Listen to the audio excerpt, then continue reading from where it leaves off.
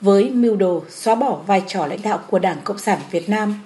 phủ nhận chủ nghĩa xã hội, tạo ra khoảng trống chính trị trong nhận thức, tư tưởng, lý luận, để đưa ý thức hệ tư sản xâm nhập ngày càng sâu rộng vào đời sống tinh thần của nhân dân ta.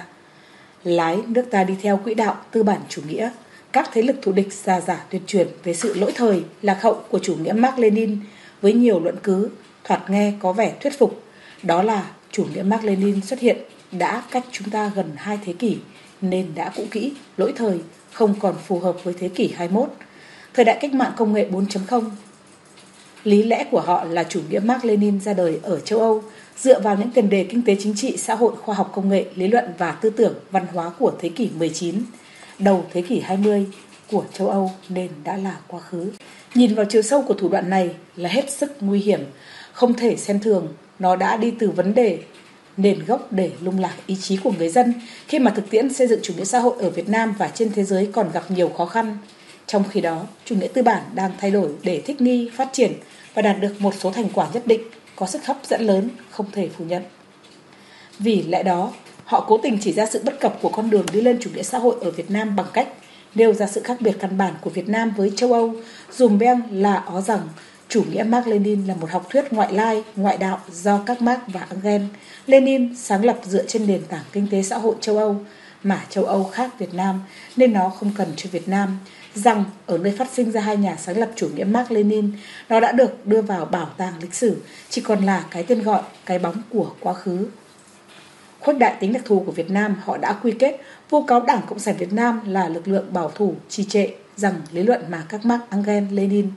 nặn ra là hoàn toàn không phù hợp với điều kiện của Việt Nam, cho nên Đảng Cộng sản Việt Nam cần chấm dứt sự hoài cổ, dừng lại việc khư khư bám giữ chủ nghĩa Mark Lenin bởi lấy nó làm nền tảng tư tưởng là một sai lầm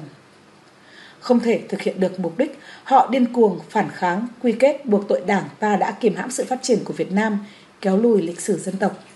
Với những luận điệu sai trái và lời lẽ ngông cuồng, họ loan tin rằng thời đại của họ đã đến, chủ nghĩa tư bản đã lên ngôi, ngay sau khi chủ nghĩa xã hội thực hiện thực sụp đổ ở Liên Xô và các nước Đông Âu.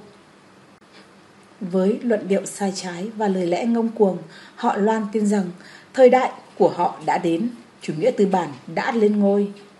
ngay sau khi chủ nghĩa xã hội hiện thực sụp đổ ở Liên Xô và các nước Đông Âu, theo đó chủ nghĩa Mark Lenin đã cáo chung vai trò của các đảng cộng sản cũng kết thúc, Đảng Cộng sản Việt Nam cô độc cô đơn.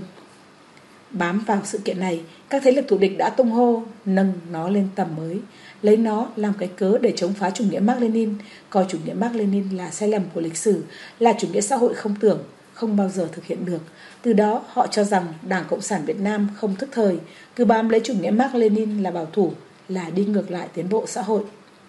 Phải nói rằng đây là cái cớ thứ cấp để họ tung ra luận điệu mang tính tuyên ngôn để chống phá đảng ta. Việt Nam cần phải đa nguyên chính trị, đa đảng đối lập thì mới có dân chủ thật sự. Kỳ vọng của họ là lấy tấm gương của phương Tây, các nước G7 làm hình mẫu để Việt Nam cất cánh. Chìa khóa để thực hiện cuồng vọng ấy là xóa bỏ vai trò lãnh đạo của Đảng Cộng sản Việt Nam, Biện pháp để đạt mục tiêu ấy là tấn công hạ gục chủ nghĩa Mark Lenin, tư tưởng Hồ Chí Minh, chứng minh sai lầm của đường lối đổi mới do Đảng Cộng sản Việt Nam lãnh đạo. Lý lẽ của họ là chừng nào ở Việt Nam còn tồn tại chủ nghĩa Mark Lenin, tư tưởng Hồ Chí Minh, thì chừng ấy Đảng Cộng sản Việt Nam vẫn còn nắm quyền lãnh đạo Đảng, Nhà nước và xã hội, và Việt Nam vẫn còn bị xiềng xích trói buộc, do đó không thể thực hiện khát vọng đưa Việt Nam phát triển theo con đường tư bản chủ nghĩa theo tấm gương của các nước G7 và phương Tây. Điều đó cũng có nghĩa là sự tồn tại của họ sẽ bị đe dọa, nguy cơ bị diệt vong đang đến gần. Đó là sự giải thích rõ ràng nhất vì sao các thế lực thù địch lại cố tình ca ngợi chủ nghĩa tư bản. Sự lên ngôi của các nước G7 dùng nhiều lời bào chữa chứng minh cho sự điều chỉnh thích nghi và phát triển mạnh mẽ của các nước tư bản. Họ cho rằng đó là tính ưu việt, sự vĩnh hằng của chủ nghĩa tư bản và chủ nghĩa tư bản là hiện thân của tiến bộ xã hội và chủ nghĩa nhân đạo.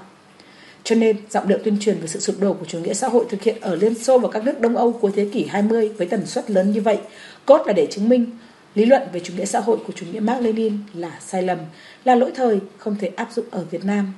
Vụ cáo Hồ Chí Minh đã sai lầm nghiêm trọng khi truyền bá chủ nghĩa Mark Lenin, gây họa cho dân tộc. Thực chất của chiêu trò này là nhằm chống phá đảng, nhà nước và chế độ ta. Tại sao chúng ta, những người đang được thụ hưởng thành quả cách mạng, cuộc sống hòa bình, độc lập, tự do, ấm no, hạnh phúc, phải tin những lời tuyên truyền nhảm nhí ấy. Đúng vậy, sự tuyên truyền nhảm nhí, phản trắc của những kẻ vô ơn, bạc nghĩa, Mở miệng là đòi hỏi xóa bỏ vai trò lãnh đạo của Đảng đối với nhà nước và xã hội ta là không thể chấp nhận, cần phải tẩy chay.